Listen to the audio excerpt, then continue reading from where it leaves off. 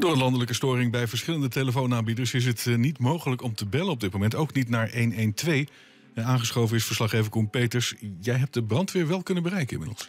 Ja, klopt. Het zwaartepunt van die storing zit eh, bij KPN. Komen inderdaad ook wel meldingen van andere providers binnen. Maar het lijkt toch echt alleen KPN te zijn die daar echt last van heeft. En dus ook een noodnummer 112 wat niet bereikbaar is. En dat zorgt voor problemen waar de hulpdiensten nu op inspelen om noodmaatregelen te treffen. Ja, en uh, om welke noodmaatregelen gaat het dan? Nou, zo stuurt de politie alle agenten de straat op, zodat agenten zichtbaar aanwezig zijn. Met de gedachte, als je hulp nodig hebt, dan kan je op straat iemand aanschieten en vinden. Of wordt geadviseerd, ga naar een politiebureau in de buurt en zorg daar dat je om hulp vraagt. Want vervolgens kunnen die agenten onderling, als het goed is, wel via hun eigen uh, portofoons met elkaar communiceren. En kunnen ze dus hulp verder inschakelen.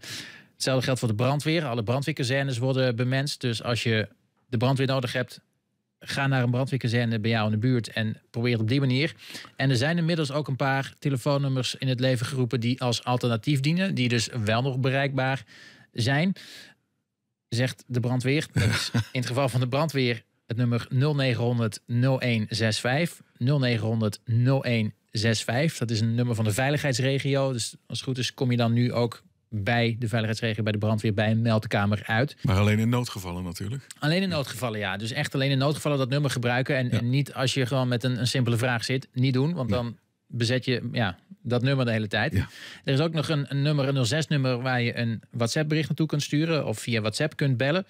Dat is 06 831 61205 ook bij ons op de site gezet. Mhm. Het bericht over de telefoonstoring. Dus daar is dat nummer terug te vinden. Dus zo wordt er gezocht naar alternatieve om toch ja, de hulpdiensten bereikbaar te houden. Maar je merkt wel dat het een beetje zoeken ook is voor politie en brandweer. Ja, want uh, als er nu iets, ik noem maar wat, als er een, eh, een overval is of zo, dan moet dat, uh, is lastig om dat te melden. Ja, ja klopt. En als je ja, kijk, echt, echt hulp nodig hebt, bijvoorbeeld een medische noodsituatie, ja, dan als je de meldkamer niet kunt bereiken, bellen om een ambulance is ook niet te doen. Dat dus ook niet, nee. wordt ook nog als advies gegeven, ja, als er een ziekenhuis in de buurt zit waar je toch wel zelf kunt komen, zorg dan dat je jezelf naar dat ziekenhuis uh, krijgt. Dat je zelf naar het ziekenhuis gaat. Ja, verder via de sociale media valt de politie niet echt te bereiken. Want die nummers die je genoemd hebt, zijn daar dan betere alternatieven voor? Nou, de, de, de Flevolandse politie heeft nog geen advies daarover gegeven. Je ziet wel dat sommige andere politieregio's in Nederland zeggen... stuur ons een bericht via Twitter, via Facebook... met je locatie erbij. Dan kunnen we op die manier daar hulpdiensten naartoe sturen.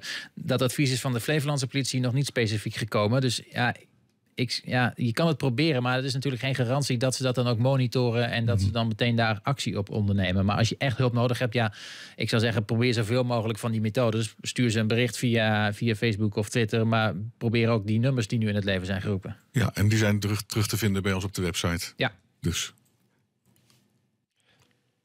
En ik krijg inmiddels ook nog een alternatief door een landelijk alternatief. Dat alternatief voor het 112-nummer, dat is 088 240. 088 240. Dus dat nummer is als het goed is wel bereikbaar. En alleen in nood natuurlijk. Dankjewel, Competers. Dit is Flevoland. 24 uur per dag op 89.8.